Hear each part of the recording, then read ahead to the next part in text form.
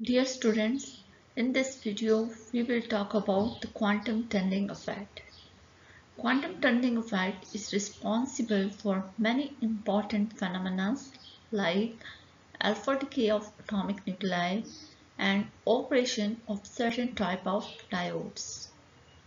Quantum tunneling has no analogy in the classical mechanics. So, to understand the quantum tunneling effect, it is necessary to understand that particles do not have any well-defined position until it is observed.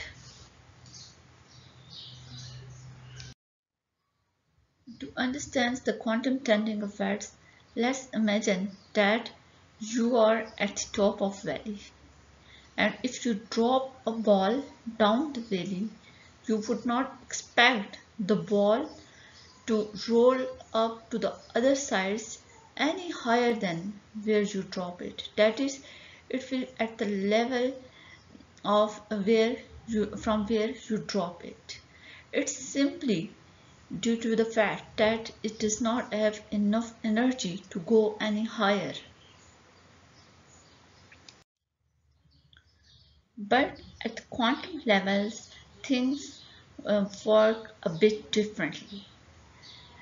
Particles do not have a well-defined position until they are observed and instead they are described by a wave function.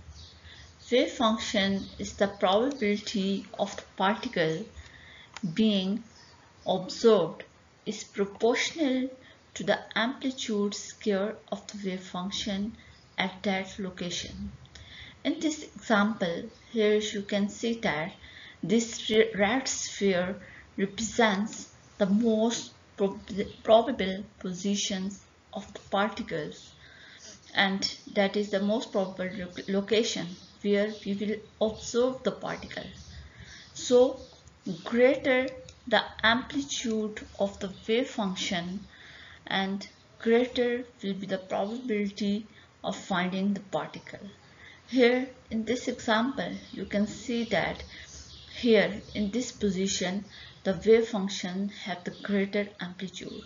So at the location of greater amplitude we have the maximum probability of finding the particle but instead here you can see that where the amplitude is smaller here we have the less probability of finding the particles so the probability of finding the particle is uh, proportional to the amplitude square of the wave function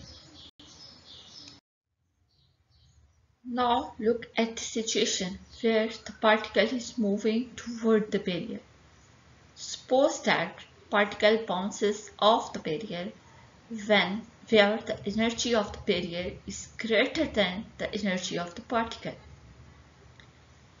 And this is represented by the wave function reflecting at the boundary of the barrier. Now, take a look at how the wave function behave at the boundary of the barrier and into the barrier.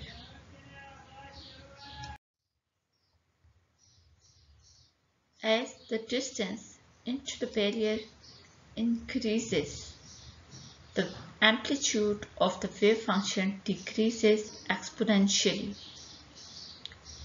But the wave function does not reach actually at zero amplitude. Here you can see in this figure that this is the this one is the length of the barrier as the wave functions going into the barrier here you can see that amplitude is going to decrease but it's still it is not equal to zero. It has some amplitude when it go out of the barrier. Now look at the other condition where the length of the barrier is short.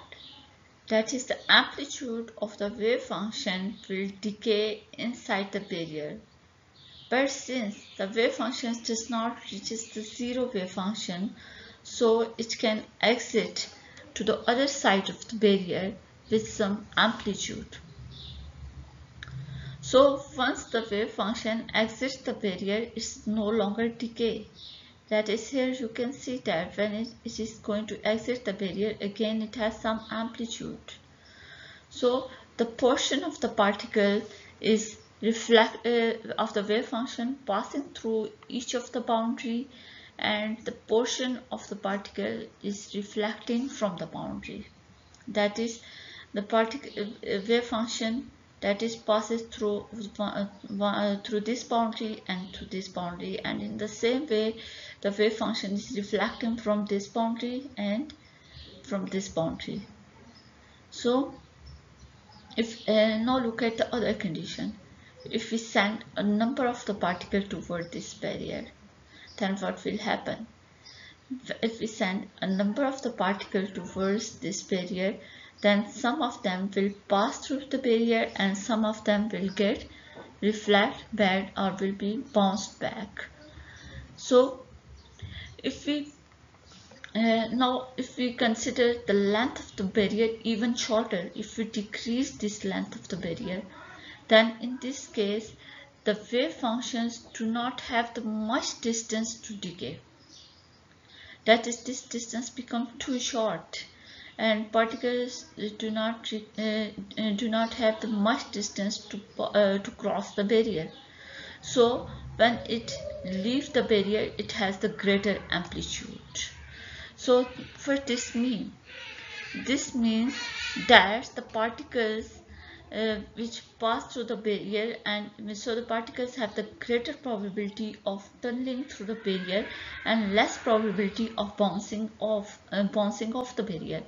And this here you can see that the reflected wave function have smaller amplitude.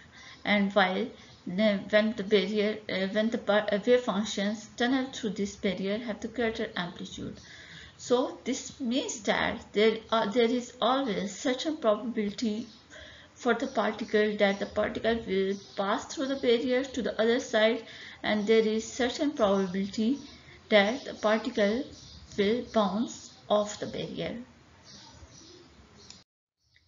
Now we comes to the conclusion. Here we can make some conclusion on the basis uh, of our discussion.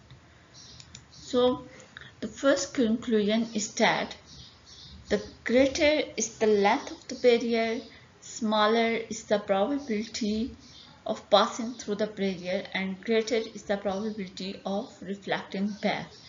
It means that when the length of the barrier is greater, then the particle have to pass through a larger distance into the barrier.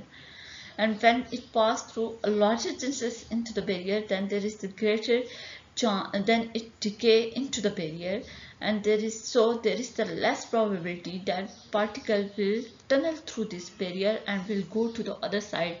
So instead there is the probability of reflecting back is greater instead of passing through the barrier. Now our second conclusion is that shorter the length of the barrier greater is the probability of passing through the barrier and lesser is the probability of bouncing off the barrier. This means that when the length of the barrier becomes short, then the wave functions need to pass through the less distance. See, In wave function cover the less, dist less distance inside the barrier. So it has the greater chance to pass through the barrier with greater amplitude. So in this case, when the barrier length becomes short, so the probability of tunneling through the barrier become greater and probability of bouncing off the barrier become lesser. Thanks for watching my video. For more video, please subscribe my channel.